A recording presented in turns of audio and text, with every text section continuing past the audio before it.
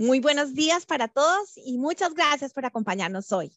Bienvenidos a este segundo webinar de nuestra serie Camino a Glasgow, que busca fomentar un intercambio de conocimiento teórico y práctico dentro de la región y con otras regiones y ciudades del mundo, esto previo a la COP26 que se llevará a cabo en noviembre. Esto es clave porque la COP26 viene con una creciente ambición climática regiones y países que hoy día representan el 65% de las emisiones de carbono y más del 70% de la economía global, ciudades de la Unión Europea y varias ciudades de la región ya tienen fecha para la carbono neutralidad. Las ciudades no solo juegan un papel principal en esta lucha contra el cambio climático, ya que son responsables de cerca del 76% del consumo energético, sino que además son especialmente vulnerables a los eventos meteorológicos. La densidad poblacional, la concentración de infraestructura, la cercanía histórica a los cuerpos de agua y la demanda hídrica suponen que debamos construir resiliencia y capacidades de adaptación en nuestras ciudades de manera prioritaria durante esta década. Se estima que se requieren unos 110 mil millones de dólares al año para adaptar a la región a los efectos de cambio climático, muy lejos de los actuales 8 mil millones que ya ha recibido la región en financiación climática.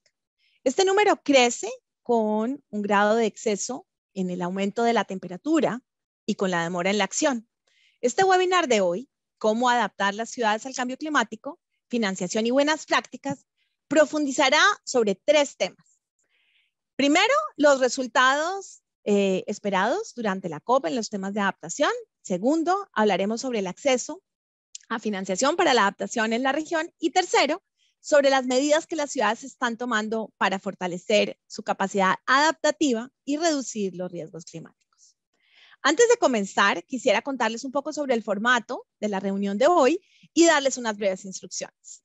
La primera parte tendremos a Rebeca Carter, que es la directora interina de la práctica de resiliencia climática del World Research Institute.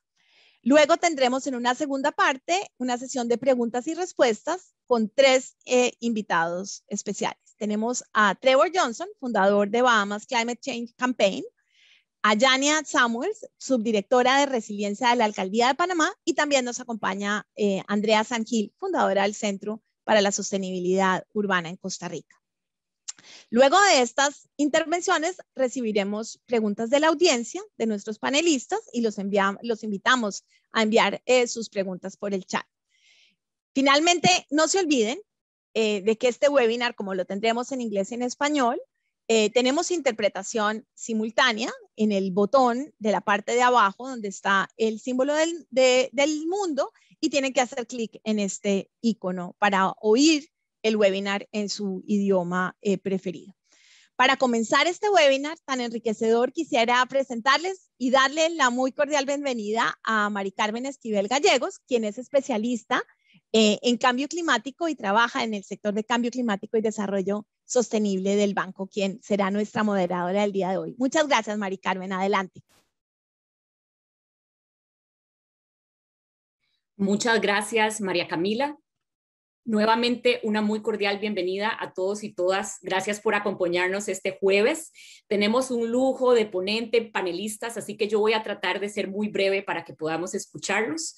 Hoy abordaremos aspectos relacionados a la adaptación al cambio climático y la resiliencia en ciudades, áreas urbanas de la región. Este es un tema sumamente importante para Latinoamérica y el Caribe. Somos una región altamente urbanizada y muy expuesta a las amenazas naturales y al impacto del cambio climático, desde huracanes, inundaciones, olas de calor y escasez de agua. Todos hemos estado viendo cómo el mundo entero ha estado batallando estos temas, desde incendios hasta inundaciones catastróficas. Es una realidad y es urgente adaptarnos. A su vez, el cambio climático es una gran oportunidad para repensar nuestras ciudades y lograr el bienestar de sus habitantes. Y es en este espíritu que hemos preparado esta sesión de hoy. Es por ello que hoy conversaremos sobre qué podemos esperar de la COP26, donde se prevé avances eh, en la provisión de fondos climáticos para la adaptación, así como avances técnicos en la medición y el establecimiento de marcos comunes sobre el progreso mundial en adaptación, que también está dentro de los objetivos del Acuerdo de París. Asimismo, escucharemos tres ejemplos de la región sobre avances en política pública, esquemas institucionales y proyectos y estrategias de cambio climático que nos van a ayudar mucho a ver estos temas en acción. La vulnerabilidad climática depende en gran parte de una serie de factores que superan el área climática, como la informalidad, la planificación, la gestión de riesgos y el acceso a la financiación, que a su vez están ligados a la reactivación económica y el desarrollo económico. Es una tarea bastante grande y una gran oportunidad. Sin más, pasemos a nuestra primer ponente. Comentarles que yo estaré alternando entre inglés y español según el ponente y panelista, pero recordarles, como le, les decía María Camila, que hay una opción de traducción simultánea en el, en el, globo, en el globo abajo. Con esto voy a cambiar al inglés para presentar a la doctora Rebecca Carter. Doctor Rebecca Carter is acting director. La doctora Rebecca Carter es la directora interina del Instituto de Resiliencia que incluye la equidad y la inclusión de los procesos de planificación y aplicación de adaptación. Su trabajo abarca la integración de adaptación en todos los sectores y a múltiples escalas, desde la nacional a la local, la financiación del clima y la adaptación transformadora. Rebeca ha trabajado en cuestiones relacionadas con el cambio climático durante gran parte de su carrera en funciones académicas, sin ánimo de lucro y en el gobierno federal. Doctora Carter, es un placer contar con su presencia. Tiene usted el uso de la palabra. Muchas gracias por esas amables palabras de introducción y pido disculpas que no domino perfectamente el español y me alegro que tenemos interpretación y veo que ya están las diapositivas. Muchas gracias por incorporarse todos a esta sesión sobre qué es lo que podemos esperar en la COP26 en términos de adaptación, la resiliencia. Y muchos de ustedes seguramente ya conocen este evento, pero nuestra organización es una organización mundial que se centra en buscando soluciones eh, prácticas. Nosotros trabajamos con los gobiernos, las empresas, instituciones multilaterales y las organizaciones de la sociedad civil sobre diferentes temas que incluye la mitigación y adaptación al cambio climático. Ahora quisiera preguntar lo siguiente. ¿Por, qué es tan importante el próximo evento de COP, COP26? ¿Por qué es tan importante para las ciudades?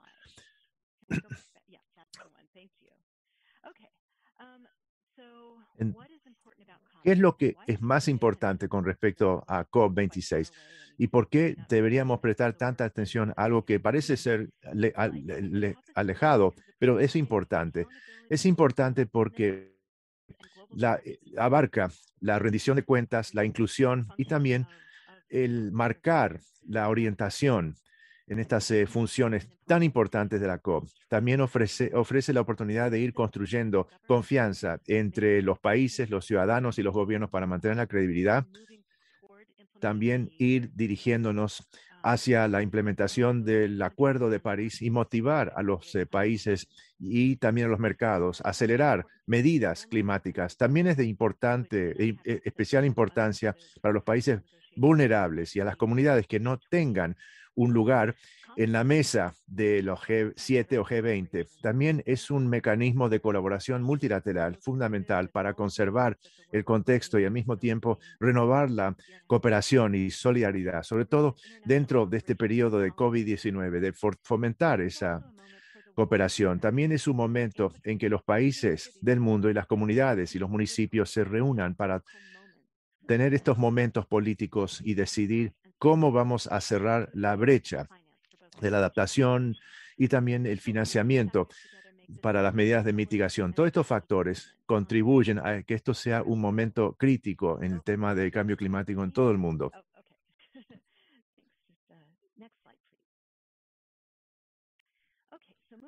Bueno, pasamos a dónde los países se posicionan en cuanto a la adaptación al cambio climático. Estas diapositivas provienen de una base de datos que ha sido preparada um, que examina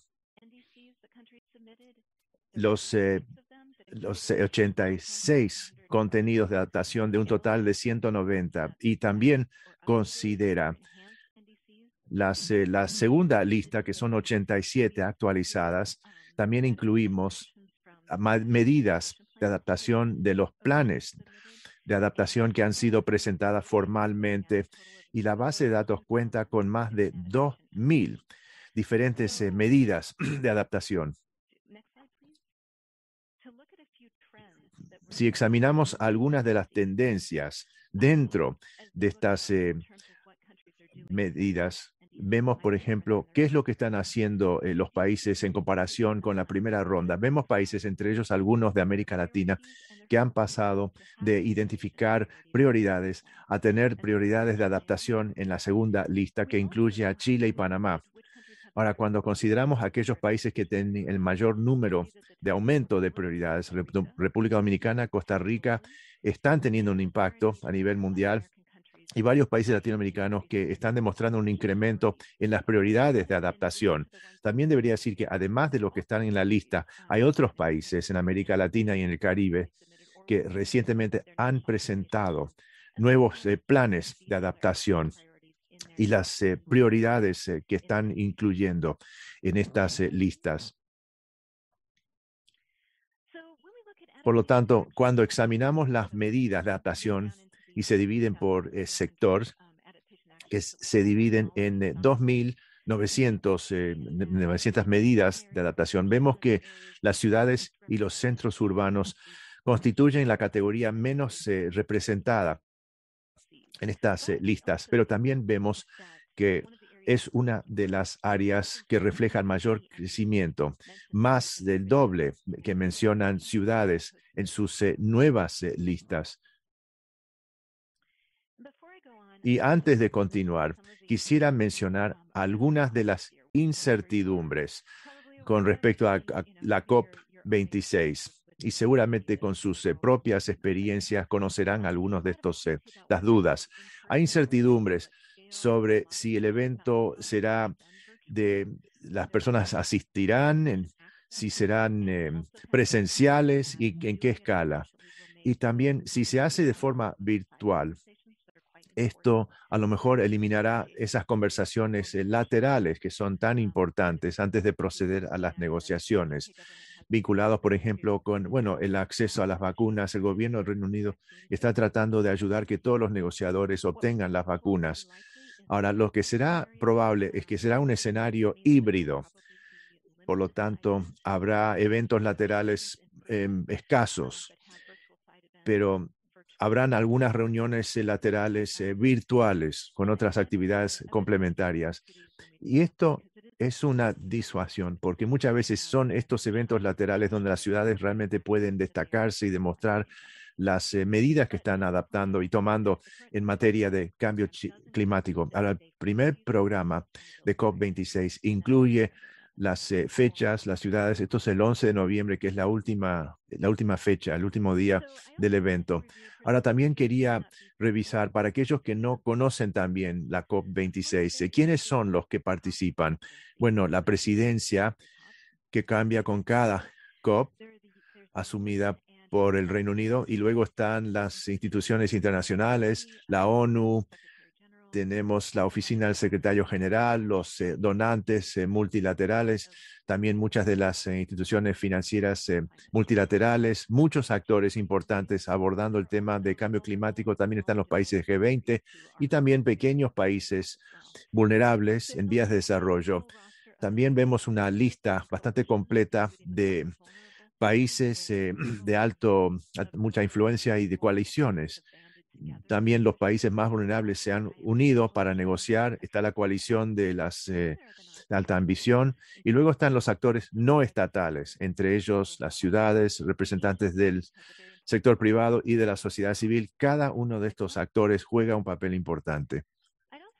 Ahora, también quisiera destacar que cuando nos concentramos en COP, estamos primero considerando las primeras dos semanas en noviembre, pero hay una serie de eventos previos que continúan hasta la, la cumbre, en donde los actores eh, globales tienen la oportunidad de conversar sobre estos temas y las en las negociaciones conocer las eh, posiciones eh, respectivas de cada país y cuáles son las prioridades de cada uno.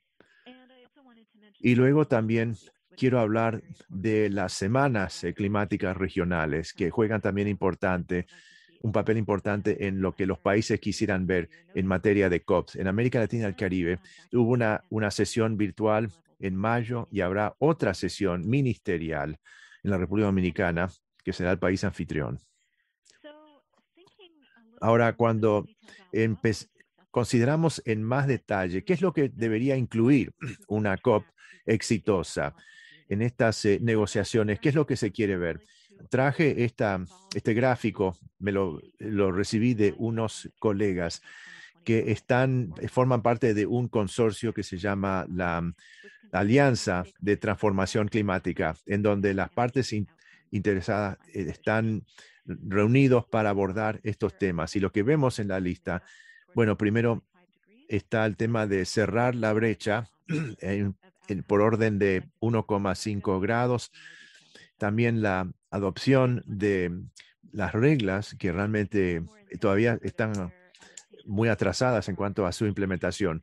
Luego tenemos también los planes de adaptación que se divide en tres áreas. Primero, las ambiciones, donde nos se centra en las eh, mitigación, eh, esfuerzos de mitigación y también la recuperación de post-COVID para un, un planeta más resiliente y verde. También conociendo reglamentos que serán más transparentes, donde los países pueden comunicarse mejor en la implementación del Acuerdo de París. Luego está el paquete de solidaridad, donde se aborda, y voy a, voy a abordar cada uno de estos elementos en más detalle. En cuanto a la adaptación en particular, ¿qué es lo que realmente pone en ejecución esto? Si vemos, si seguimos de cerca las negociaciones, van a escuchar mucho sobre la, el objetivo eh, global de adaptación. Este es un componente clave del Acuerdo de París que se dirige a que el mundo logre una capacidad de adaptación, fortalecimiento, resiliencia y reducción de vulnerabilidades al cambio climático, todo dentro de un contexto de limitar el aumento de temperatura mundial de 1,5 grados eh, centígrados por encima de los niveles preindustriales. Entonces, la idea es de seguir de cerca y medir estos esfuerzos. Ya sé que todos están siguiendo de cerca la eficacia en la adaptación y resiliencia. Es un verdadero desafío en la adaptación, donde no, no se reduce a una sola cifra, sino que requiere un cronograma muy extendido. Entonces, los negociadores quieren ver la adaptación de las métricas para que se adopten como orientador en esta adaptación. También se ha hablado mucho de las de IPCC, de crear un eh, grupo, una fuerza de tarea, un grupo de estudio para abordar esa brecha metodológica eh, y los temas relacionados con la medición y la evaluación de las necesidades. Bueno, entonces también hay que determinar qué es lo que está ocurriendo en cuanto a las pérdidas y daños sufridos. Esto servirá o será parte de las negociaciones. Desde hace tiempo ha sido un tema eh, que se ha considerado, pero se ha quedado un poco eh, relegado a un lado. Para aquellos que no conocen esto, es un reconocimiento de que a medida que el cambio climático los impactos se van intensificando. Hay algunos temas a lo mejor que no podemos adaptarnos o adaptarnos a tiempo, donde se sufrirán pérdidas.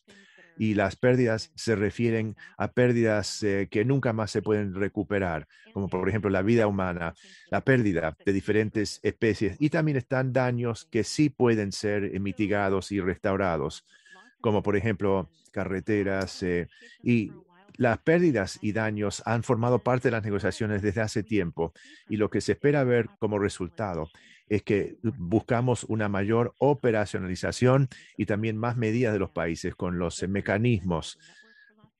por ejemplo, tenemos la red de pérdidas y daños y también está el mecanismo internacional de Varsovia sobre la, la resolución de gobernanza y también examinando los cambios climáticos sobre, basado en las recomendaciones de la Fuerza Tarea que mencioné antes. También quiero señalar que cuando hablamos de pérdidas y daños en la base de datos que destaqué antes, todavía no percibimos o vemos unas verdaderas tendencias sobre este enfoque. Es un tema bastante reciente, es un tema que los países ahora están prestando especial atención, pero no ha quedado clara, claramente definido sobre qué es lo que viene posteriormente. Y a continuación podemos ver que lo que se necesita eh, eh, cambiar en materia de finanzas, uno, los principales, las principales prioridades en la mitigación es abordar la entrega de llegar a esta meta de 100 mil millones de dólares. Esto fue creado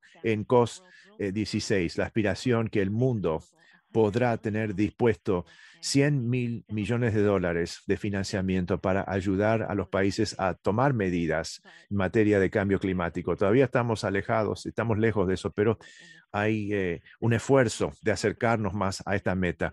También iniciar un proceso para establecer metas eh, de financiamiento colectivas eh, posterior al 2025, donde se aumentan compromisos multianuales para incrementar el financiamiento el cambio climático y también el financiamiento en el tema de pérdidas y daños. ¿Cuáles serían los objetivos para en materia de pérdidas y daños, de contar con, por ejemplo, finanzas eh, concesionales que esté, por ejemplo, a la par con em, las, em, la paridad y mitigación. También se hablará mucho del fondo de adaptación, también el fondo de pérdidas y daños de países y también iniciativas dirigidas por países eh, vulnerables, buscando también identificar los enfoques al financiamiento que incluye una orientación al GCF, buscando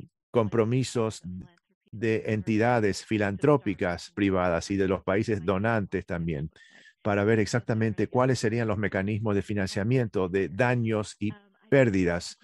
Ahora, también quería mencionar otro aspecto que estaba en unas diapositivas anteriormente. Y la idea es de, contamos con más actores empoderados. Y esto incluye representantes, las redes de la sociedad civil. Esto será fundamental. Y hablando también de los eh, principios de adaptación dirigidas localmente. Tenemos eh, BRAC y otras organizaciones en donde junto con la Comisión de Adaptación, tenemos más de 50 organizaciones que incluyen algunos países que ya se han incorporado a esta organización, que incluye Estados Unidos, que incluye un conjunto de objetivos en términos de toma de decisiones a nivel local, abordar las desigualdades estructurales, invertir en las capacidades locales, también dejar un eh, legado institucional generar eh, medidas de colaboración, inversiones.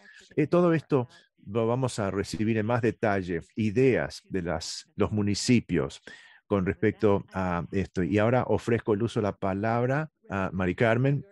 Muchas gracias, eh, Rebeca, una excelente presentación que nos ayuda prepararnos para el tema de la COP26 y dónde se encuentran los países en términos de adaptación y qué incluye esto. Por ejemplo, una medición de las pérdidas, los daños y los municipios todavía no cuentan con la adecuada representación, aunque algunos han duplicado su representación desde las primeras medidas. Y me alegro tanto que hay un día dedicado a esto en la COP26. También habló de un aspecto clave que tiene que ver con pérdidas y daños y las medidas de solidaridad y medidas concretas y las evaluaciones que se tienen que realizar. Y un aspecto clave que usted mencionó también, me, gustó mucho, es que la adaptación dirigida por entidades locales, empoderar estas entidades. Y esto lo vamos a ver en el próximo segmento, donde tenemos ejemplos de las Bahamas sobre cómo esto ha sido desarrollado y han logrado fomentar cambios legislativos. Y en la ciudad de Panamá, en donde también han sido clave estas medidas. Y en Costa Rica, donde tenemos ejemplos de Costa Rica, también ejemplos internacionales en materia de cambio climático y cómo esto se ha incorporado de una manera integral para abordar otras necesidades que tienen que realizarse y también las soluciones eh, basadas en esto. Así que muchas gracias, eh, doctora Rebecca Carter y tendremos la, vamos a tener la, la, posibilidad de volver a hablar con usted durante la sesión de preguntas y respuestas. Ahora quiero presentar al señor Trevor Johnson. Trevor Johnson es eh, asesor estratégico en las Bahamas es el fundador de la campaña de el Comité Consultivo de las Bahamas. Anteriormente fue especialista y consultor en el Ministerio de Preparación. También es un candidato del programa de doctorado en, la gestión de crisis, de emergencia y desastres de la Universidad de North Dakota. Bueno, muchas gracias, María Carmen, esa larga introducción. María Carmen, me alegro tanto poder compartir esta perspectiva en la iniciativa del Caribe en, en, cambio climático. Como la mayoría de los territorios, la Bahamas ha sufrido el impacto total del cambio climático. En el 2017 vi de cerca el impacto del el huracán María en Dominica. ¿Quién hubiera pensado que veríamos lo mismo en, la, en las Bahamas con el huracán Dorian en el 2019, en donde tuvimos vientos de más de 200 millas por hora con eh, aumentos de, en las inundaciones de agua de más de 20 metros.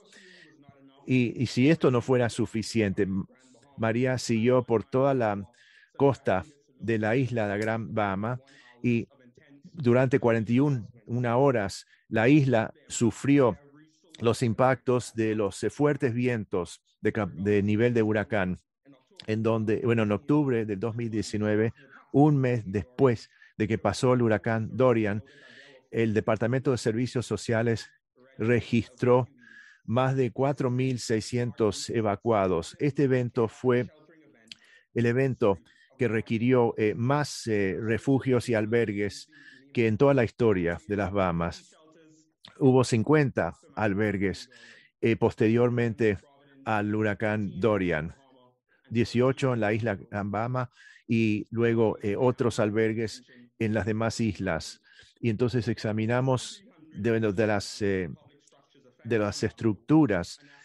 Eh, se estima que 26,7% fueron totalmente arrasadas. 46% de las estructuras sufrieron graves daños. En la isla de Gran Bahama, de las 2.000 edificios, más de un 20% sufrió daños eh, catastróficos. En la isla Abaco, 18 edificios fueron eh, destruidos, que incluye tres comisarías y una, una estación de bomberos. En la isla Gran Bahama, 13 edificios eh, fueron destruidos, dos correos, tres comisarías de policía, una estación de bomberos y tres edificios de gobierno sufrieron diferentes eh, niveles de daño. En el sector sanitario, el hospital principal de Gran Bahama, que es el segundo hospital en tamaño de las Bahamas, sufrió también graves daños, pérdidas de equipos y suministros como consecuencias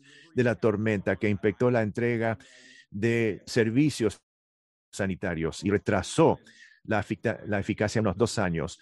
45 instituciones académicas sufrieron también daños, donde 1.100 estudiantes eh, fueron afectados. Siete escuelas fueron destruidas en total.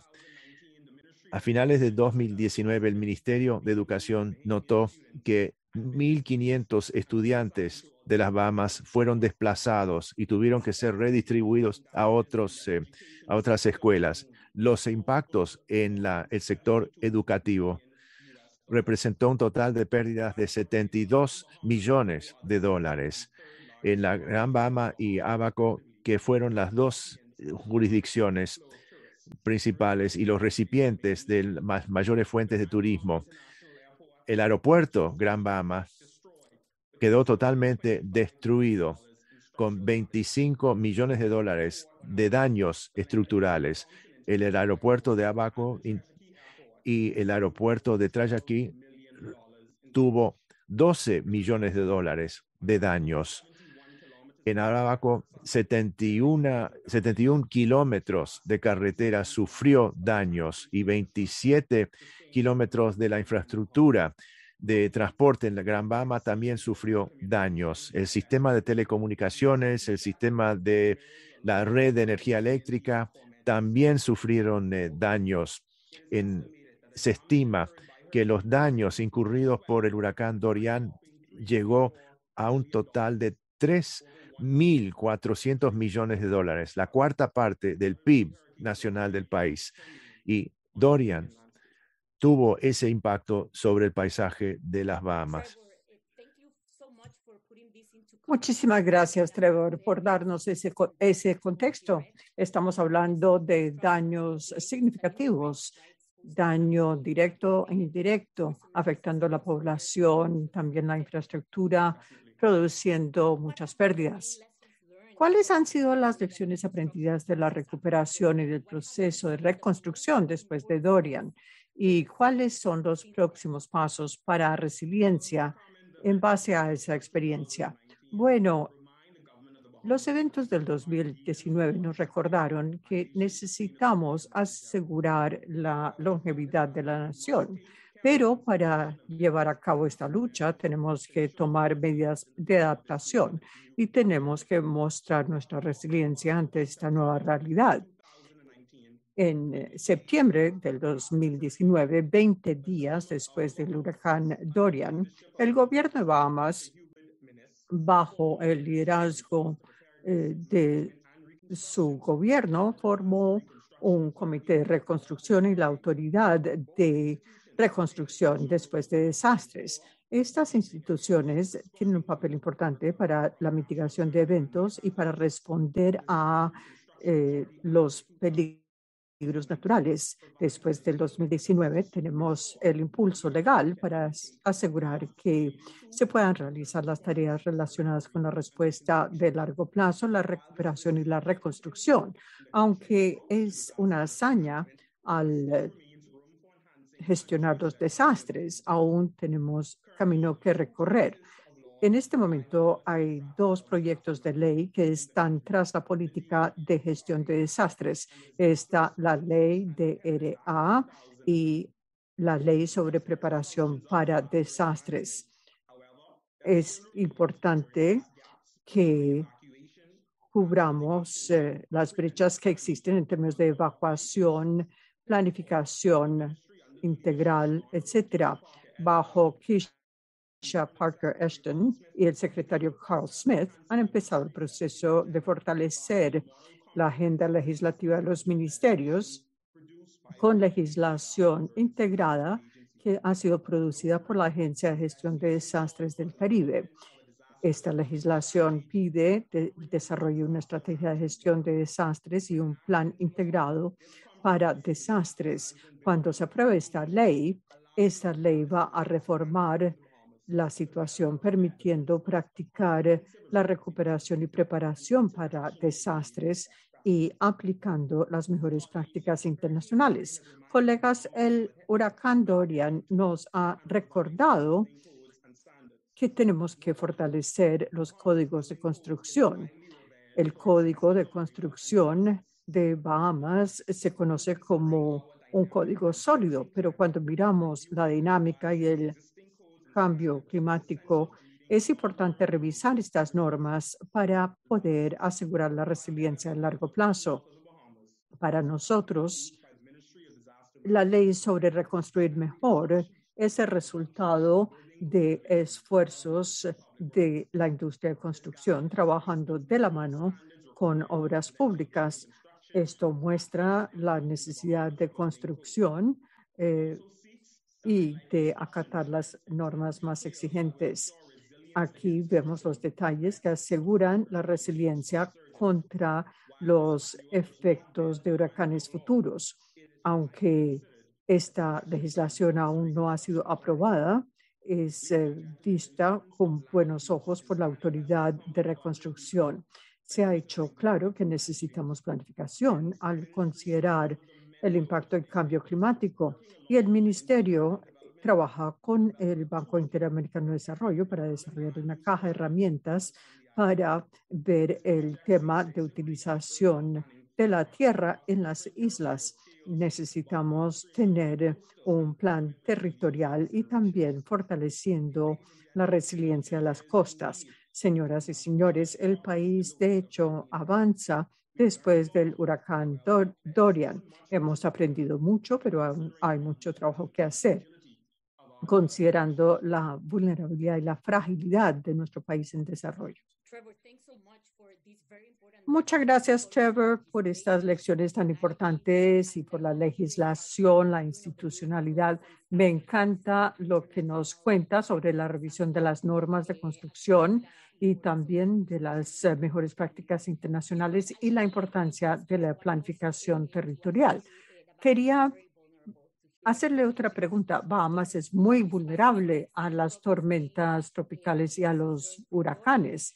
Pese al progreso después de Dorian, ¿cuáles son los principales desafíos que existen aún para las Bahamas, especialmente cuando se piensa en el cambio climático? Sí, Naomi Klein, activista climática de Canadá, dijo, sabemos que el cambio climático no es apenas un tema más para los temas de preocupación. No, es todo lo contrario, es un toque de clarín que tenemos que eh, enfatizar. Vemos la elevación del nivel del mar lleva a inundaciones y a la larga podría llevar a la extinción. Los desafíos que enfrenta Bahamas son enormes, especialmente las vulnerabilidades físicas y geográficas de nuestro país son enormes. Somos una cadena de islas con una población de 400 mil personas en 17 islas habitadas. Y la población de estas islas puede variar de 280 mil en Providence a 17 en Ryan Island. Sin embargo, el gobierno de Bahamas tiene que cerciorarse de que los residentes, los ciudadanos de cada isla tengan acceso a la atención sanitaria, electricidad, otros servicios públicos. Y este contexto, además de lo difícil que es el impacto del cambio climático, incorpora las frentes sociales que tienen que mirar todos los países. Yo creo que nuestro país, por su composición geográfica, está en condición de mucha susceptibilidad y vulnerabilidad. Las islas son pequeñas, de modo que la mayoría de la población vive cerca de las costas, lo cual es un riesgo alto para la erosión de las costas. Las islas, además, tienen poca elevación. Se sabe que el 80% de la masa territorial tiene menos eh, de un metro de elevación, de modo que el aumento en el nivel del mar va a tener un impacto prolongado y eh, de larga duración sobre la población. De modo que ahora pasamos a mirar los desafíos que podemos abordar con alianzas internacionales. Las pérdidas, los daños que resultan de diferentes ciclones han tenido un impacto deleterio en términos de poder cumplir con los objetivos de desarrollo sostenible. Hemos experimentado en los últimos años cinco huracanes, Matthew, Irma, Joaquín, María y Dorian, que produjeron más de 5 mil millones de dólares en daños al país.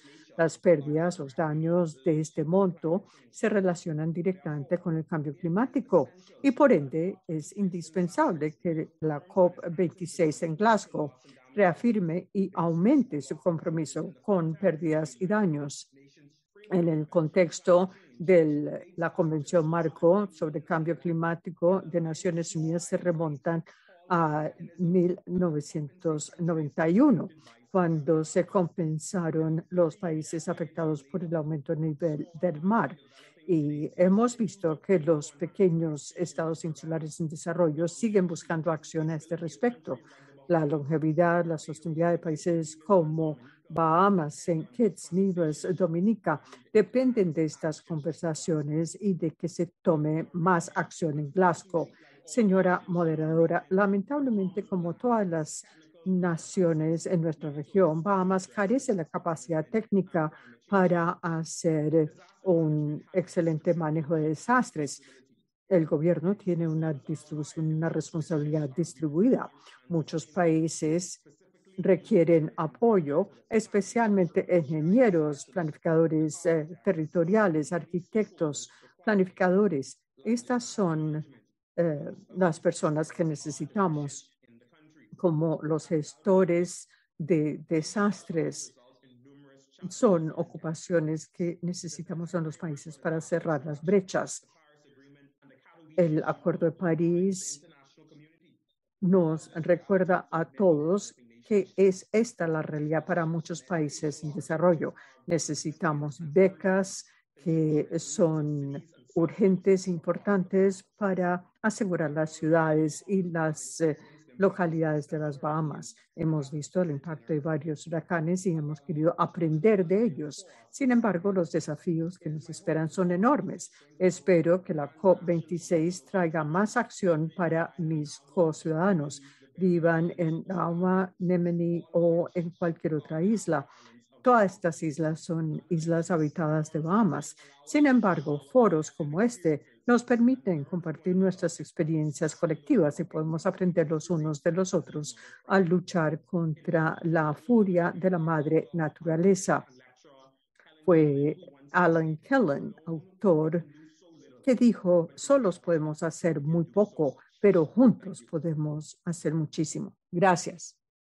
Muchísimas gracias, muchas gracias, Trevor. Tantas cosas tan interesantes. Realmente Bahamas ha sido un líder en estos aspectos y muestra cómo la exposición, la vulnerabilidad lleva a la innovación en las prácticas.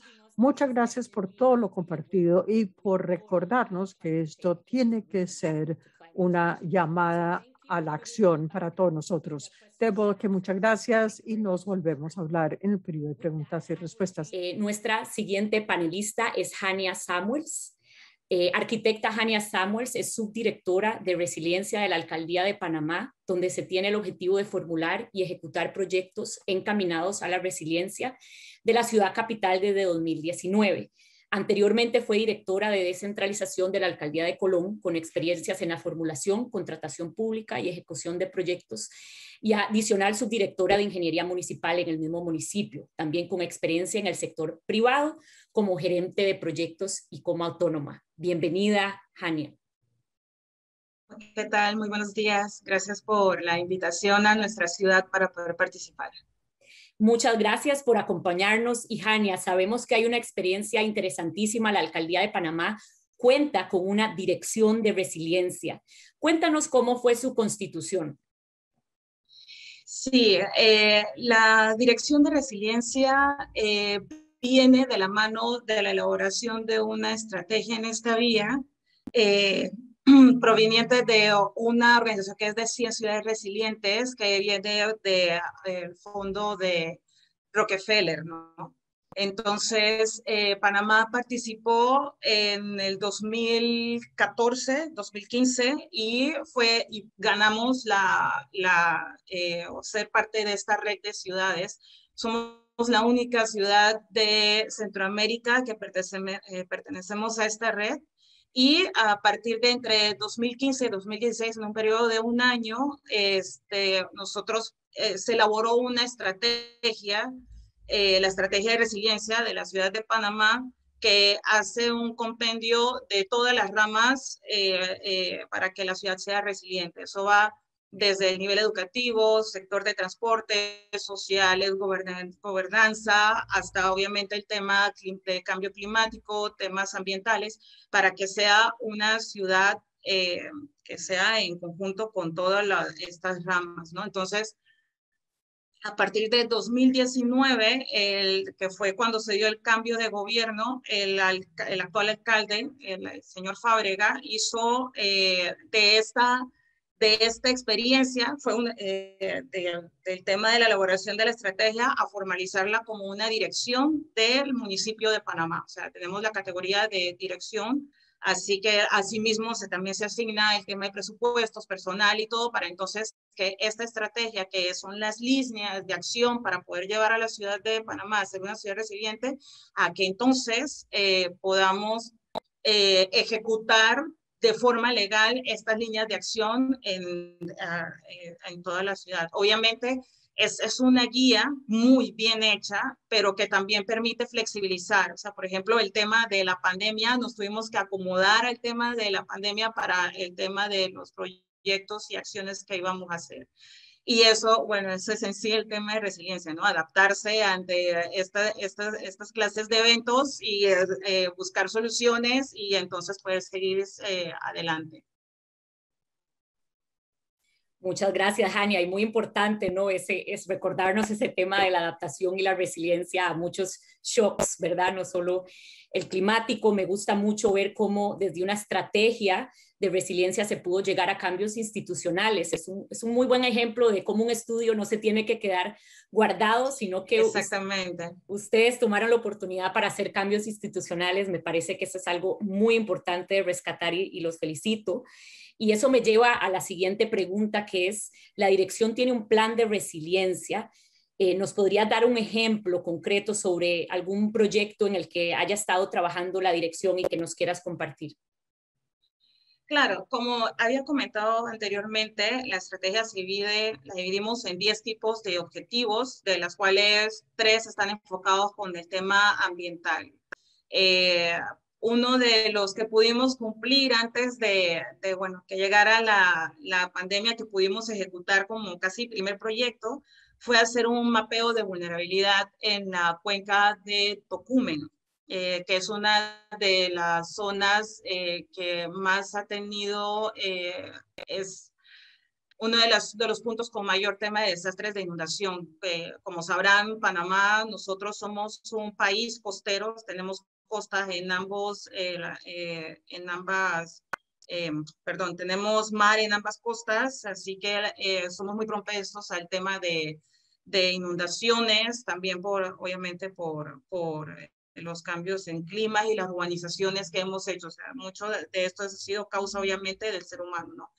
Entonces, una de las primeras cosas que hicimos fue em, pudimos conseguir financiamiento por medio del Ministerio de Economía y Finanzas y el Banco Mundial para que se asignaran fondos para hacer este mapeo de vulnerabilidad, que lo que eh, hemos logrado ha sido de poder hacerla, em, poder prever a futuro en los distintos escenarios si no tomamos, eh, dependiendo de las decisiones que tomemos, en la afectación que puede haber esa ciudad. ¿Qué pasa con esa ciudad? Que en la parte de Tocumen, que ahí está nuestro único aeropuerto internacional, que es el aeropuerto de Tocumen. Entonces, parte, ahí pudimos trabajar en conjunto, no solamente con el Banco Mundial, sino también con el aeropuerto de Tocumen, porque ellos estaban previstos hacer la tercera pista de aterrizaje, ¿no? que es una inversión al nivel de, de, gobierno central, y hacer este mapeo sirvió para que ellos... Eh, no solo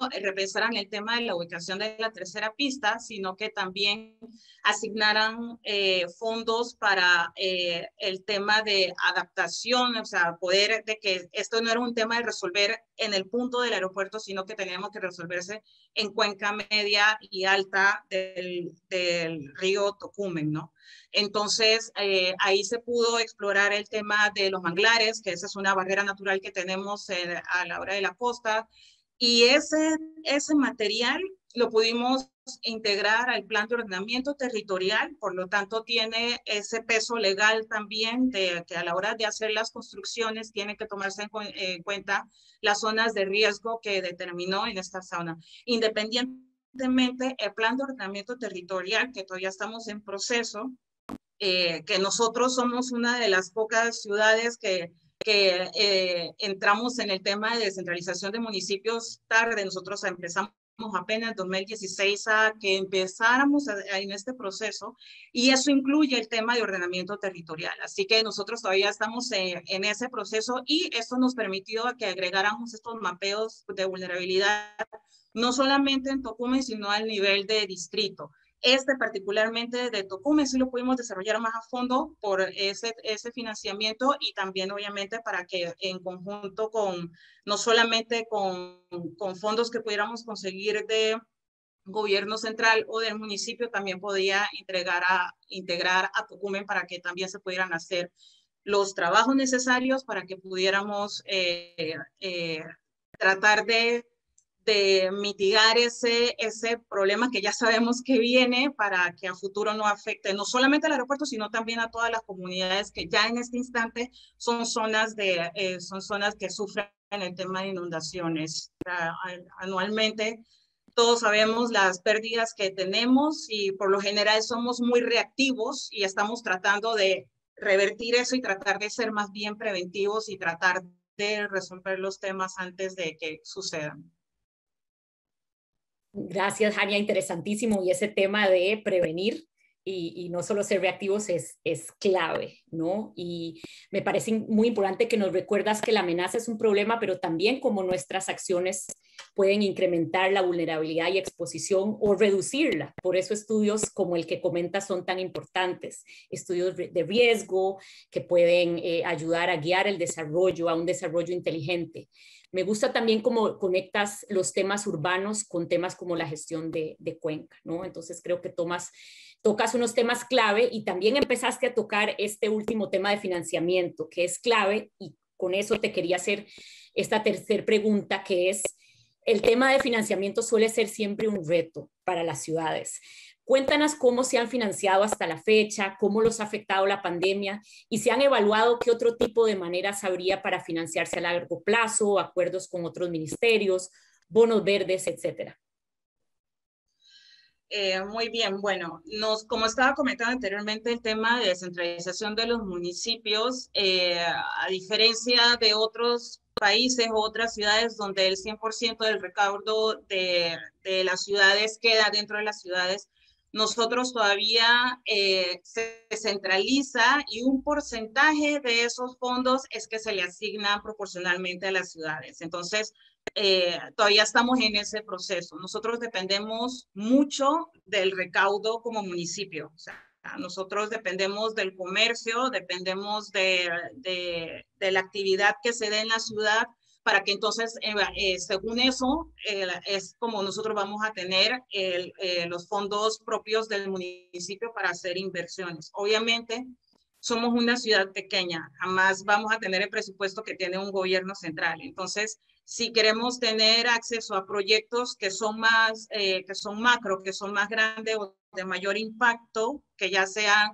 por medio del BID, por medio del Banco Mundial, por medio de cualquiera de estas, eh, estas organizaciones, no lo podemos hacer directamente como municipio. Nosotros dependemos de que sea por medio del gobierno central, de sus ministerios, y entonces eh, se asignen para nosotros, pero eh, nosotros no podemos endeudarnos, o sea, no, no tenemos esa, esa, eso de que podemos ir directamente con eh, los, eh, estas estos organismos. Entonces, por, por suerte, no por suerte, sino por, por el, el manejo que se tiene como ciudad, se han podido establecer eh, muy buena comunicación con lo que son los ministerios, con gobierno central. Eh, no, no, sé si sabrán, pero la, eh, la ciudad de Panamá cuenta casi con el 25% de la población de la República. O sea, somos la ciudad más poblada, más densa y económicamente la, la primera a nivel de país. Entonces,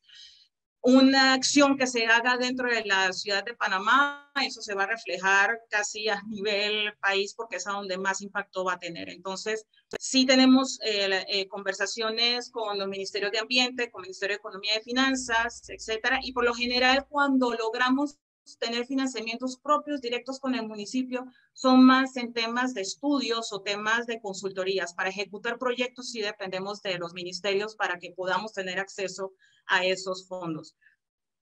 Como, como había comentado, por lo menos está esa comunicación, más bien parte del, del año que se trabajó en estrategia de resiliencia estuvo la de establecer la mesa de resiliencia y la mesa inter, interinstitucional de resiliencia, que eso ya hizo el proceso de sentar a todas las instituciones que podrían tener relación con el proyecto, con, eh, con la estrategia de nosotros, y así que eso nos ha facilitado mucho poder pedir ayuda o poder tener convenios sin tener que hacer la ruta larga de hacer un proceso legal más largo entre instituciones porque ya eso se estableció durante la estrategia. Entonces, por lo menos esa parte fue un camino ganado y eso nos agiliza mucho a la hora de poder establecer eh, contactos con ellos y también, direct, de los ministerios hacia nosotros. También nos llegan eh, eh, solicitudes, nos, nos invitan de que existe tal, tal proyecto o existe tal cuestión en el cual nos gustaría que la alcaldía de Panamá participara. Entonces se ha hecho una, una mancuerna eh, eh, muy bonita, pero de todas maneras creo que sería importante de que poder tener un poquito más de independencia como gobiernos locales a la hora de tener financiamientos eh, para hacer proyectos de estos tipos sin la burocracia que lleva de tener que ser, pasar de por medio con, con, con gobiernos centrales. Entonces, eh, más que todo sería, sería eso como tener más accesos a, como gobierno local y no esa dependencia con, con gobierno central. Excelente, Jania. Este es un ejemplo interesantísimo, un gran ejemplo que nos está dando la Alcaldía de Panamá con su propia dirección de resiliencia. Muchas gracias por compartirlo con nosotros y el tema de financiamiento es clave. Por eso esperamos ver acción en la COP26 en este tema. Me encanta también. Tocas temas de gobernanza importantísimos de entre articular eh, las diferentes instituciones y los retos también de presupuesto. Vamos a regresar eh, en la sesión de preguntas y respuestas. Muchas gracias, Jania. Nuestra siguiente panelista es Andrea Sangil. Andrea es fundadora del Centro para la Sostenibilidad Urbana en Costa Rica. También es cofundadora de Agile City Partners y la Alianza Global por el Transporte Informal. Tiene más de una década de experiencia en el desarrollo de políticas, planes y proyectos que buscan mejorar la inclusión social, calidad de vida y competitividad a través de la sostenibilidad con diversos actores y sectores desde gobierno central, municipal, sector privado y sociedad civil. Es ingeniera ambiental especializada en cambio climático, ciudades y movilidad urbana sostenible. Andrea, muchas gracias por acompañarnos. Gracias a ustedes por el espacio y la oportunidad. Gracias, Andrea, y sabemos que has estado muy involucrada en proyectos integrales de cambio climático que parten de articular el, cambio climático con las principales necesidades que busca atender un gobierno local. ¿Podrías darnos un ejemplo de cómo se puede articular acciones de adaptación que contribuyan a otros objetivos de desarrollo sostenible? Por ejemplo, cerrar las brechas de género o erradicar la pobreza. Claro, em, básicamente para este tema lo que hay que considerar siempre es que la vulnerabilidad climática va íntimamente conectada con otros tipos de vulnerabilidad. Entonces, las personas que menos recursos tienen, las personas que están en vulnerabilidad social, económica, quienes sufren de, discriminación racial, las personas migrantes, las mujeres, etcétera, tienden a ser las personas que van a ser más afectadas y con menos posibilidades de adaptarse o lidiar con los impactos de, la crisis climática. Eh, entonces, ciertas ciudades han ido identificando que pueden trabajar varios de estos temas a la vez, ¿verdad? Y, reducir brechas o impactos en las poblaciones más vulnerables. Un ejemplo muy bonito es en Quito, donde hay un, un programa eh, que se llama Agrupar. Ellos identificaron que el 95% de los alimentos que se consumían en Quito eran importados. Entonces hay un reto de soberanía alimentaria y, de seguridad alimentaria ante una crisis climática. Eh, pero también identificaron que el 27% de la población vive en condiciones de pobreza y que la mayoría de esas personas son mujeres y personas migrantes. Entonces, de ahí tenés un componente de vulnerabilidad social. Y también identificaron que muchas de estas personas vivían en asentamientos donde los terrenos eran inestables y riesgosos. Entonces, con una crisis climática, ahí había un elemento de riesgo adicional. Eh, entonces, desarrolló un programa de huertos comunitarios donde se producen hortalizas para autoconsumo y para venta eh, y se fue capacitando a la población, a las mujeres, eh, para, para, desarrollarles, digamos, habilidades de modelos de negocios, no solo para pues, consumir estos alimentos, sino también venderlos, incrementar sus ingresos, desarrollar empresas propias, eh, también reducir la vulnerabilidad climática a partir de la estabilización de los terrenos, entonces, de repente, un, un programa que podía, podría entenderse con otra finalidad, digamos, reducción de pobreza o, empoderamiento de mujeres, ¿verdad?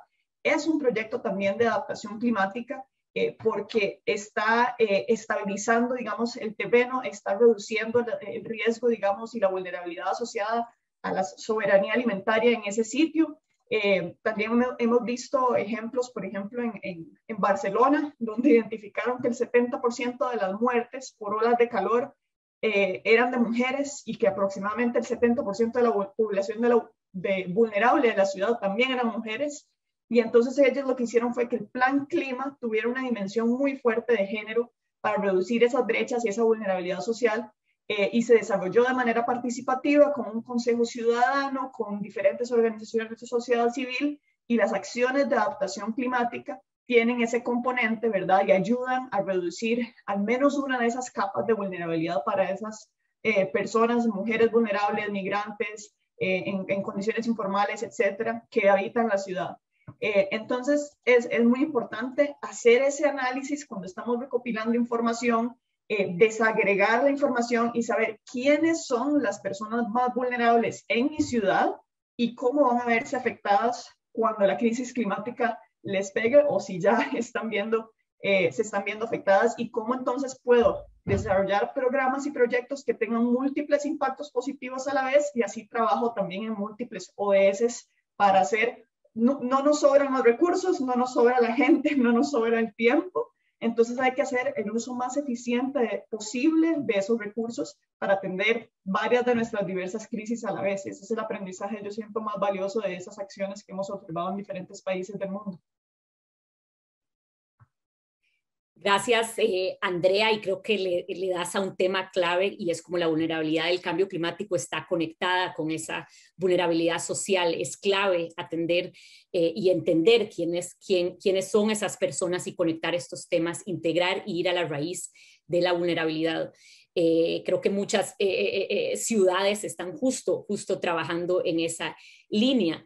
Y yendo también a lo que decía Rebeca sobre métricas, eh, queríamos preguntarte de tu experiencia si nos podrías dar un ejemplo de cómo generar sinergias medibles entre la adaptación y estas otras áreas de acción urbana. Sabemos que has trabajado mucho también en movilidad y transporte.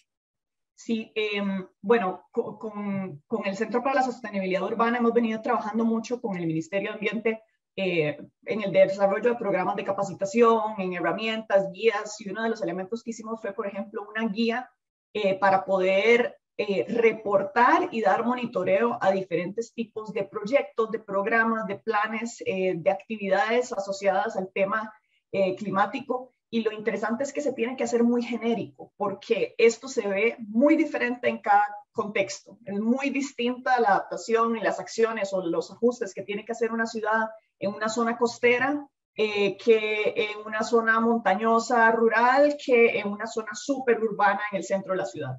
Entonces, el contexto depende mucho e incluso a nivel de indicadores los dejamos bastante libres para que cada ciudad, de acuerdo al tipo de impacto que quiere generar, utilice los indicadores que más le, sirven para, poder reportar, ok, estos son los cambios que estamos haciendo eh, y estos son el monitoreo que vamos a dar.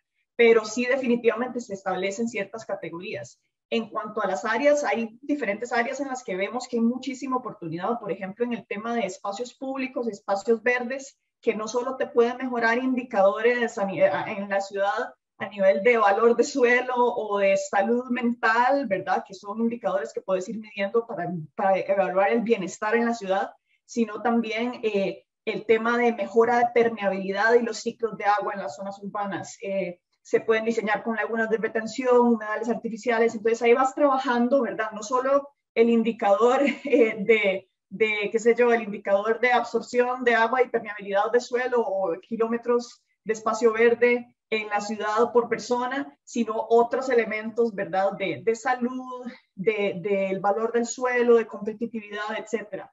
Eh, en términos de movilidad urbana sostenible, puedes trabajar el tema de adaptación climática, entendiendo que redundancia y diversidad de opciones y buena conectividad permite mejorar la resiliencia en las ciudades en una situación de crisis, ¿verdad? Si una opción colapsó, la otra puede asumir esa demanda.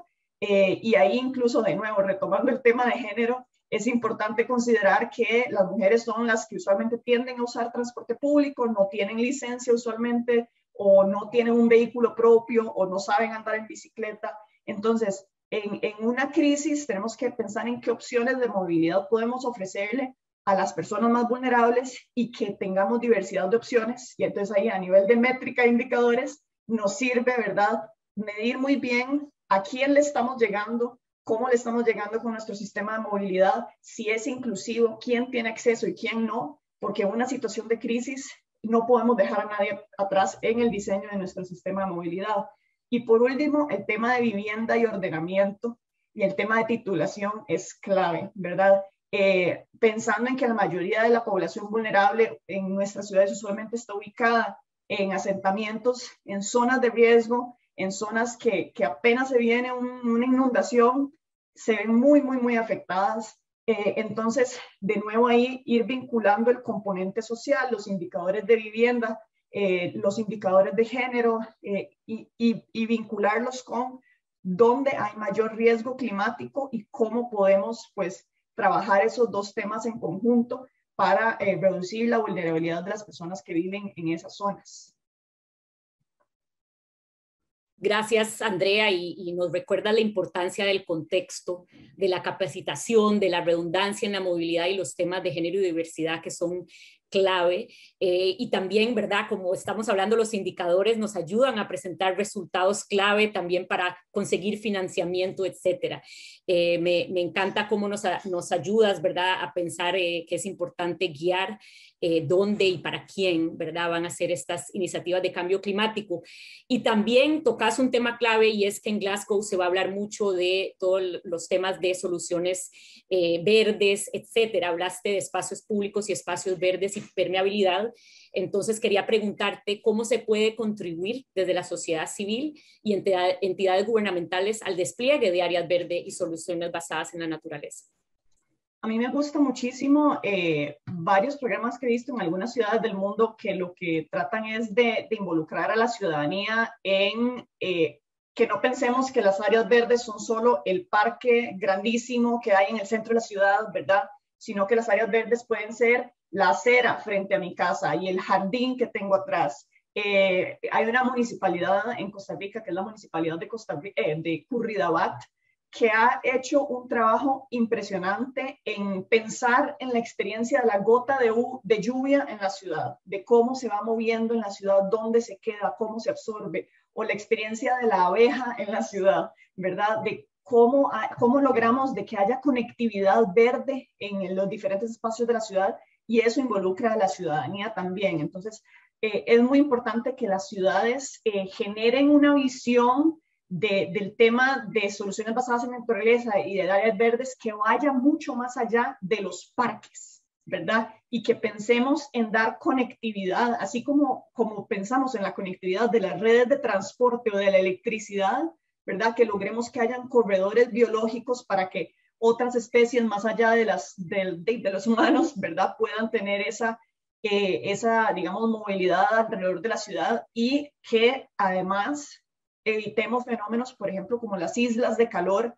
Entonces, si tenemos parchecitos de verde alrededor de la ciudad, eso nos ayuda muchísimo a bajar las temperaturas, a captar agua, a mejorar los ciclos y a ser más resilientes. Esto va mucho por, por ejemplo, modificar la regulación, ¿verdad? Hay muchas veces que, la ciudadanía o las empresas quieren hacer algo innovador, quieren hacer un techo verde o quieren hacer un, una, una, un humedal artificial para filtrar las aguas grises o para hacer ciertas innovaciones en la manera en que, se construye, por ejemplo, y la regulación no se los permite. Entonces, tenemos que identificar cuáles son los tipos de cambios que queremos promover en estos eh, para que las soluciones eh, basadas en naturaleza sean más fáciles de implementar y se vuelvan, como se dice en inglés, mainstream, ¿verdad? Algo normal del día a día. Eso parte mucho por la regulación y facilitar o incluso generar incentivos para que las personas quieran invertir en esto y modificar esos, esos patrones. También eh, ser creativos en cómo las financiamos, ¿verdad? Eh, se piensa que a veces el gobierno tiene que hacer toda la inversión. Las alianzas público-privadas siempre son una excelente opción. Aquí, por ejemplo, Rutas Naturbanas ha sido un ejemplo muy, muy interesante de cómo desde sociedad civil surge una idea de cómo vamos a, mejorar el acceso a espacios verdes, eh, a estabilizar, digamos, los saludes alrededor de los ríos, con una opción de movilidad y entran eh, las entidades del sector privado a financiar ciertas partes y las, digamos, las entidades del sector público a facilitar el espacio, ajustar la legislación para que esto sea posible. Entonces, analizar hasta dónde llego yo, pero hasta dónde puede llegar alguna de las otras partes, ¿verdad? Y pensar en que estos temas van más allá del gobierno y se convierten en gobernanza, ¿verdad? En qué puede contribuir cada parte y cómo nos acomodamos para que tenga sentido. Em, innovar en los mecanismos de financiamiento, ¿verdad? Es, es, es indispensable. Y, y, también en pensar en que este financiamiento no solo tiene que ser, eh, digamos, del sector ambiental. Hay muchas ciudades que han buscado ponerse creativas, ¿verdad? Entonces, utilizan financiamiento del sector salud porque nos va a generar ahorros a largo plazo en salud, ¿verdad? O de recreación o del sector de deporte.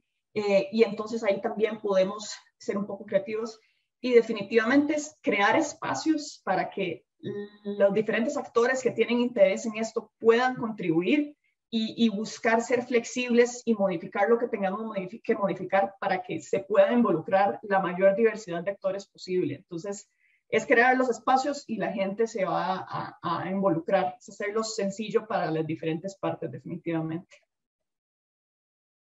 Muchas gracias, Andrea. Sumamente interesante los, los ejemplos que nos mostrás. Nos recordás también la importancia de la regulación, de involucrar a la ciudadanía, generar incentivos y ser creativos con las alianzas. Me encanta el ejemplo de, de rutas naturbanas y creo que acabamos viendo los, diferentes, el hilo conductor entre las presentaciones, ¿verdad? Lo dijo Rebeca con adaptación liderada localmente lo dijo Trevor eh, con la llamada eh, a la acción, Hania también desde una alcaldía liderando estos temas y vos, Andrea, con ir más allá, ¿verdad? Con esta importancia de trabajar con la ciudadanía y la regulación público-privado, eh, ese rol de la gobernanza.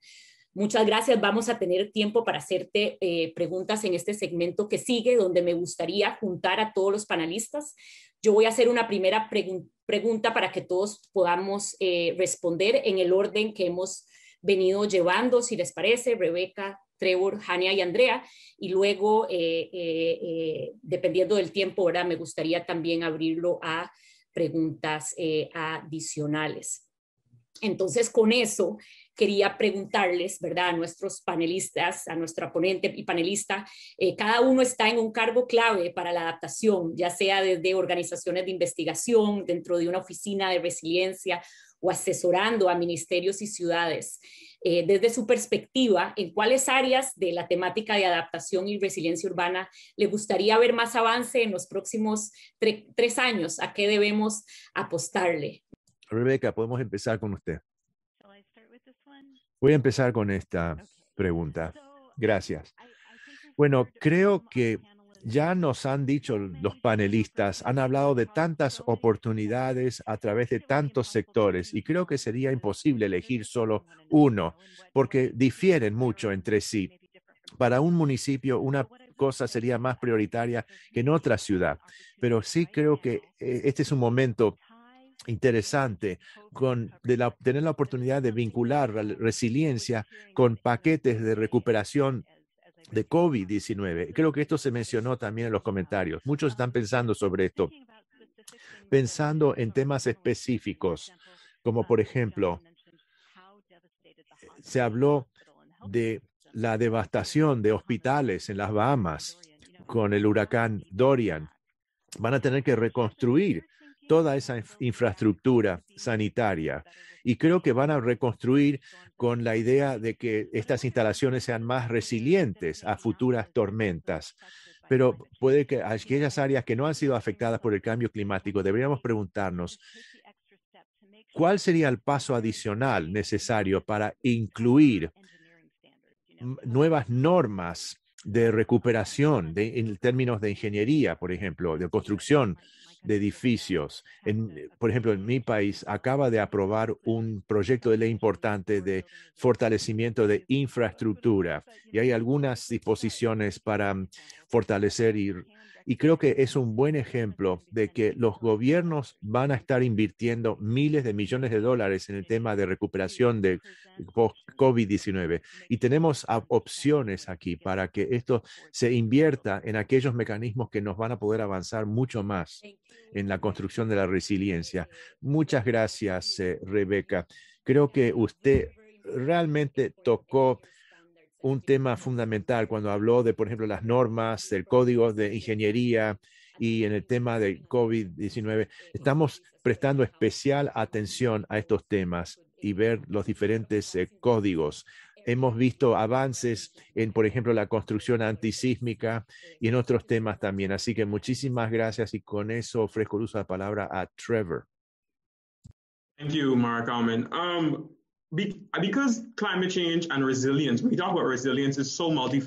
Ya que la resiliencia incluye tantas facetas, es una multiplicidad de cosas que tenemos que hacer.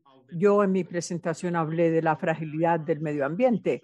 En Bahamas tenemos ecosistemas eh, costeros muy frágiles y en este momento estamos trabajando en nuestra capacidad de ser técnicos por ejemplo, ayudar a fortalecer los manglares, fortalecer las costas, áreas de protección marina, o sea, aumentar la capacidad de lo que es nuestro ambiente natural para ayudar a protegernos de estos eventos. Además, tenemos que fomentar la capacidad.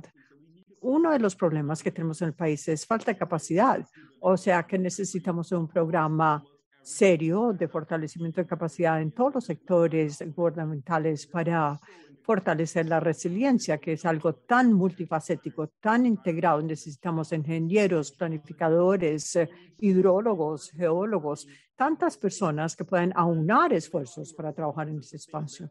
Y hablamos de resiliencia y desarrollo sostenible, pero tenemos que pensar en la economía, no solo en el ambiente social y ambiental. La economía depende de la industria del turismo. Entonces, estamos tratando de diversificar nuestra economía y los huracanes, otros sistemas tropicales que nos afectan, también han mostrado las vulnerabilidades de este sector del turismo. Básicamente, en 2019-2020 se detuvo el tráfico de turistas. O sea que eso tenemos que tenerlo en cuenta al combatir el cambio climático. Excelente, Trevor. Y dice usted algo clave. Sin la capacidad no se puede hacer nada. O sea, hay que fortalecer siempre la capacidad. Esto va de la mano eh, con el desarrollo. No solo es un problema de eh, cambio climático, es un problema también de eh, desarrollo económico. Con eso le paso la palabra a Jania. Jania, cuéntanos desde tu perspectiva, ¿qué te gustaría que pasara en este tema en los próximos tres años? ¿A qué hay que apostarle? Bueno, este, la información que han dado los demás panelistas resume mucho las necesidades que tenemos nosotros como ciudad. Eh, algo que hemos aprendido con esto del, tema de la, de la pandemia es, es que se ha exacerbado todos los posibles eh, pequeños problemas al cual no le habíamos puesto mucha atención anteriormente y que eso nos obliga a tener que reordenar y reorganizar todas nuestras eh, prioridades. y eso no es solamente con el tema climático, sino también con los ciudadanos, el tema de comercio, económico, social, género, de todos. Eh, casi todas estas problemáticas se, se se, se visibilizaron bastante durante este tiempo. Entonces, eh, una de las cosas que pudimos observar es, por ejemplo, el tema de que la dependencia que tenemos a un solo único tipo de ingresos como municipio, necesitamos también como casi cualquier empresa privada diversificarnos un poco más en el tema de, de, la obtención de fondos. No me refiero simplemente a estar poniendo impuestos, sino de que de crear como alcaldía, eh, no esperar a que eh, los comercios crean para que nosotros podamos eh, tener una parte de ellos, sino que también como alcaldía poder generar esas economías y poder generar esos, niveles de impactos para que entonces nosotros podamos tomar decisiones de, en temas como en, tanto en clima, social y etcétera, ¿no? Así que yo quisiera, yo como ciudadana de, de, este municipio, quisiera ver eh, más el impacto o el de la toma de decisiones más fuerte a nosotros como gobierno central y eso eh, va incluido en el tema legislación y en el tema ciudadanía. O sea, necesitamos fortalecer mucho más ese vínculo entre el municipio y alcaldía en el cual no tengamos esa dependencia, eh, o sea, poder descentralizarnos como, como está establecido en la ley, o sea, que podamos terminar ese proceso, que se nos puedan para trasladar esas competencias para entonces nosotros poder tomar las decisiones de nuestra ciudad. O sea, ahora mismo... Eh, por ejemplo, eh, ya salió el, por parte del Ministerio de Obras Públicas, ellos generaron una dirección de drenajes solamente para el, al nivel de país pero esa, esa dirección de drenajes no contempla la alcaldía a la hora de hacer sus planes y demás. Y siendo nosotros los que estamos habitando el municipio, deberíamos estar participando. Entonces yo quisiera, sería eh, eh, súper interesante poder lograr que esas participaciones a nivel tanto de ministerios como de gobierno local fueran mucho más consonos y al final que nosotros podamos tener esa toma de decisiones a lo largo de lo cómo va a impactar en nuestra ciudad.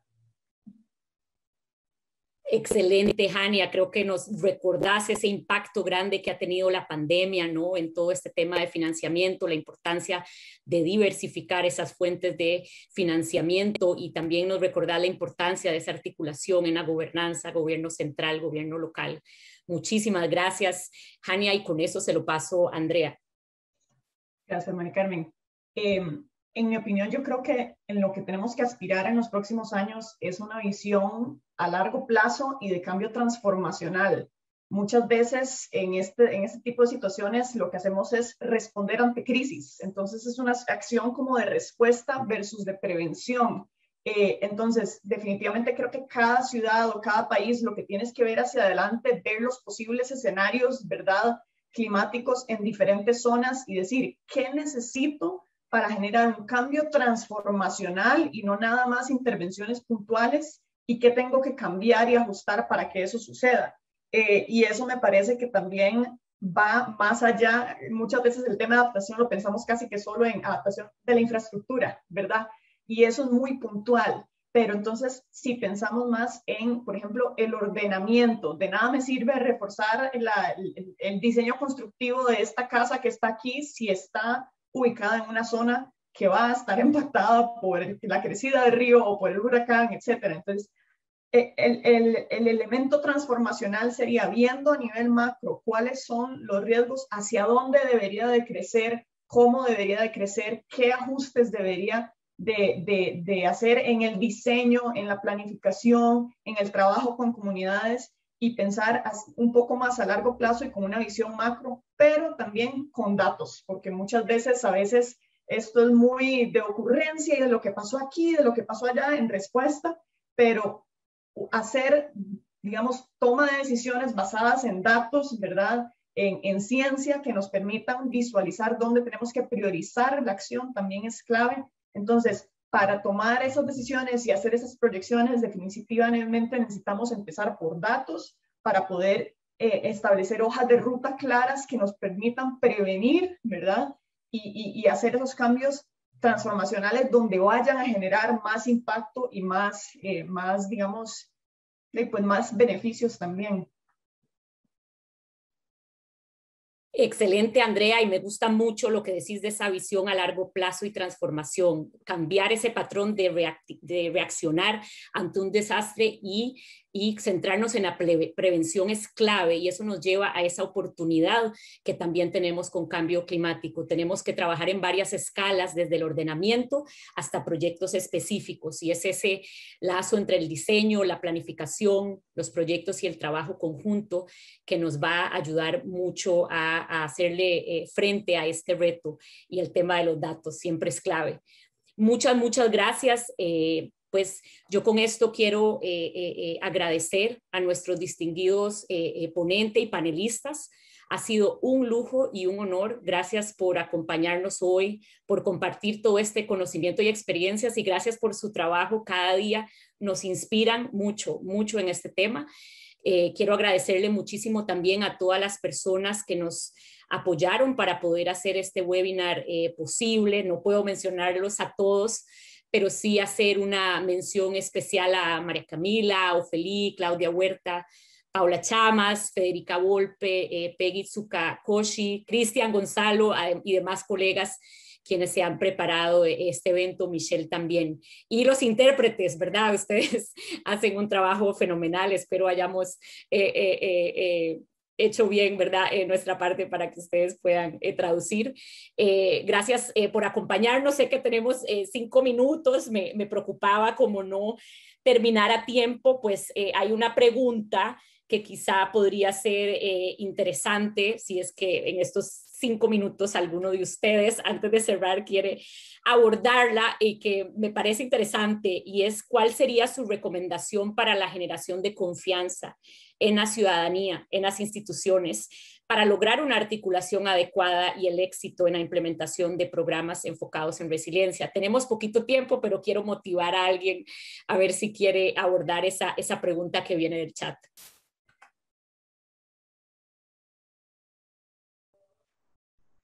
Yo voy a hacer una cortita nada más. Bueno, yo eh, me disculpan el ruido porque están trabajando de acá al lado. Eh, breve nada más. Eh, creo que una de las experiencias que podríamos tener en la confianza de la ciudad es hacerla que participe cuando la ciudad, los ciudadanos están anuentes de qué es lo que están haciendo, de qué es lo que se está trabajando, para qué lo estamos haciendo, la misma ciudad empieza a proponer y eso lo hemos visto ahorita entre los procesos que hemos llevado de, de la ciudad, de que la, la ciudadanía está anuente de que estamos ante un problema y que ellos también tienen voz para poder opinar y decir el, eh, eh, qué es lo que, y proponer de lo que es lo que debemos hacer. Entonces, mientras que mantengamos es, eh, la fachada limpia y no, no tengamos esa pared que normalmente eh, caracteriza a, a, los gobernantes separados de los ciudadanos, ellos van a mantener su confianza en cuanto nosotros le demos las capacidades a ellos de saber de qué estamos hablando y sobre todo de cómo poder participar y poder dar sus opiniones acerca de las posibles eh, eh, soluciones que podamos llevar. Gracias. Excelente, Jania, ese tema de la comunicación y cercanía eh, con la población. No sé si alguien más quisiera, Andrea, creo que tienes Sí. No, no, nada más agregar a eso, definitivamente estoy completamente de acuerdo y viniendo desde el lado un poquito de sociedad civil, el, el crear esos espacios para participar es indispensable porque si no existen formalmente o no existe esa puerta abierta, eh, el tipo de dinámica que se crea es completamente diferente, ¿verdad? Eh, si abrís el espacio, la gente se siente con propiedad de proponer y de contribuir. Si cerras ese espacio, la única alternativa es confrontar y criticar, y eso a nadie le sirve, ¿verdad?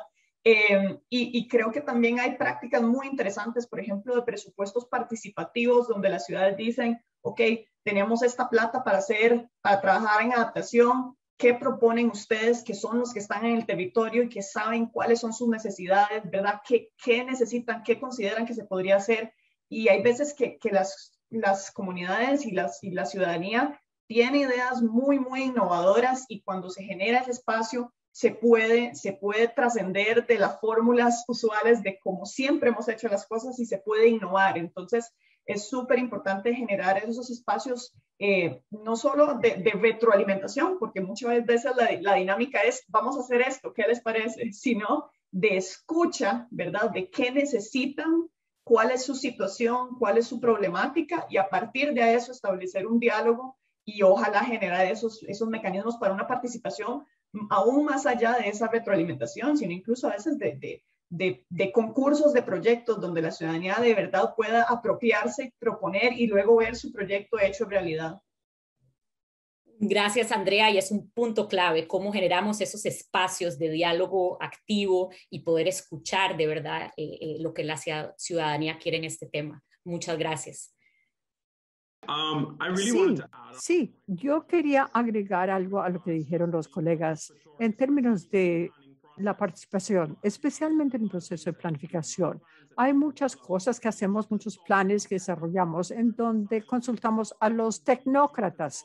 Trabajamos en compartimentos estancos pero tenemos que evaluar qué hay que incluir en los planes. Un proceso más participativo lleva a más apoyo de parte del público. Y otra cosa, yo soy pedagogo, estudié pedagogía. Entonces creo que tenemos que hacer mucho más en términos de la educación. La mayoría de las personas, y aquí voy a hablar de mi tema, la gestión de desastres, la mayoría de los hogares no entienden lo que es su rol en la gestión de crisis. Piensan que es cuestión para el gobierno, pero todos tenemos algo que aportar, especialmente en el cambio climático. Un grupo de tecnócratas en este espacio entendemos resiliencia, entendemos cambio climático, pero el ciudadano común y corriente entienden el alcance de estos temas? Quizás no. Entonces tenemos que hacer mucho más. Tenemos que educar en sentido formal, pero también en sentido informal. Muchísimas gracias, Trevor. Y sí, una consideración importantísima, un proceso de planificación para no trabajar en compartimientos estancos. Y sí, la educación es clave y todos tenemos que recordar que todos tenemos un rol que desempeñar y esto puede ser un segundo seminario, hablar de formas en que podemos todos contribuir. Tenemos un poco de tiempo si alguien quiere decir algo más.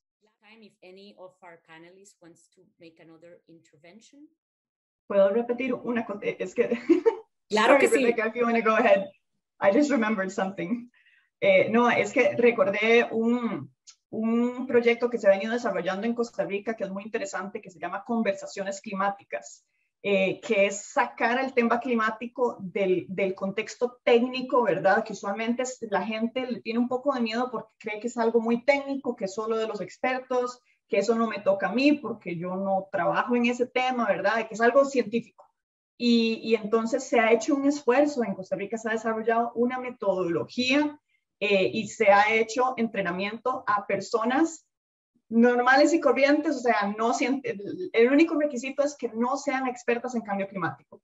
Entonces hemos invitado a personas, digamos, adultas mayores, a jefas de hogar, a educadores, a deportistas, influencers, etcétera, a que conversemos sobre cambio climático y que entonces se sientan cómodos hablando de esto, porque entre más hablemos de esto, menos ajeno se siente y más nos damos cuenta de qué tiene que ver con mi día a día, de cómo me está afectando. Eh, puedo hablar de esto con mis vecinos, puedo hablar con otras personas y se vuelve algo normal.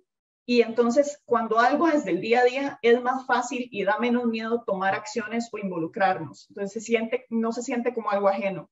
Entonces esa es otra manera de generar confianza, de generar cercanía con el tema, de generar una base de personas que entonces ya estamos hablando el mismo idioma y se pueden acercar a proponer y, y, genera como una comunidad de personas que entonces les apasiona y se dan cuenta que, ah, sí, yo, yo, yo tengo poder de tomar acción y de, y de hablar con otras personas y se vuelve como un, un, una bola de nieve que cada vez va creciendo, ¿verdad? De, de personas que se quieren involucrar en su manera y, cada quien identifica cómo, ¿verdad? Y, y, se puede involucrar de distintas maneras. Entonces, quería nada más mencionar esa porque me parece que es una, un experimento muy interesante y ha dado resultados bonitos también. Muchas gracias, Andrea. Es, es, importantísimo ese tema de comunicación y de hacer esto parte del día a día. Vamos a buscar ese, esa iniciativa y, y, creo que le das eh, en un punto clave. Y with that, I'll, I'll, I'll hand it to Rebecca. I think you also had uh, your hand up and you have the last word. Ha sido realmente una discusión tan enriquecida y es un placer poder conocer a los otros panelistas y ver el nivel de participación, entusiasmo. Esto me alienta mucho. Ahora puse en el chat algo que podría ayudar también en esta discusión. Vemos, por ejemplo, hablamos de cómo luce una mayor inclusión y creo que se, hace mucha, mucha énfasis en los temas eh, y puede que esto a veces, eh, sí, hay consenso y algunos de los panelistas ya tienen ese consenso sobre qué es lo que tiene que ocurrir. Esto es algo que nos permite eh, un mecanismo para enfocar esto en nuestros propios esfuerzos, que ya lo están haciendo en, parte, pero también conocer quiénes son los otros eh, signatarios. Y esto es algo que se podría considerar hacia adelante. Bueno, muchas gracias de todas maneras. Excelente. Sí, es un tema clave, Rebeca, de traer a colación este tema.